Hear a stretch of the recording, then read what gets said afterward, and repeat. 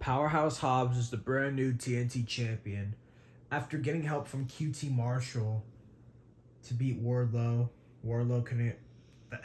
Dude, I'm so glad Hobbs is champion. I'm just pissed how he won the match because like him and QT threw um, Wardlow off the uh, stage, but it was like an obvious crash pad.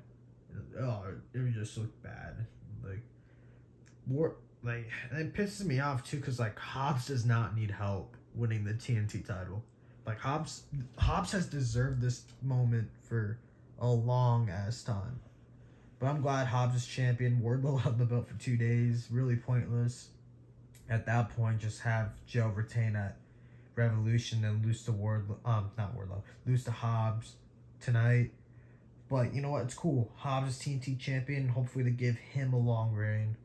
You know that he deserves. You know he's been he's been on the come up for years here in AEW. You know with Team Taz, with Ricky, Starks, his feud thing with Wardlow and Joe Like now I found he gets now he's the face of TNT. Like he gets to capitalize on the opportunity now as champion. Just I'm just don't like that he's pairing up with QT Marshall. I just don't like the dude personally. Like I think it's pointless, but with Hobbs as TNT champion, it's a great thing to be because he can bring prestige back to this championship. Because honestly, this title's not really prestigious at the moment. And with but now Hobbs TNT champion, I would love to see him versus Starks again. You know, obviously he's gonna fight Wardlow. He's gonna fight Darby Allin, Orange Cassidy, Jay Lethal. Um, Ethan, no, Ethan Page is a heel.